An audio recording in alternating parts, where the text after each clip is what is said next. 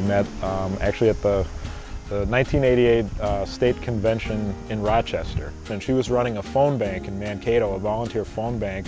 He kept an eye on me, called me every single day, and we, we, we decided that we were a pretty good team, and we've been together for over 22 years. Well, we've, we've been fortunate to have a, a small cabin on Lake Jefferson for uh, half a dozen years or so. Yeah, the kids love coming down here because it's a, a chance to get out and go tubing off of the back of the boat and basically just hang out. Our son Patrick is a goalie. You get into it when you're hanging out at the hockey rink.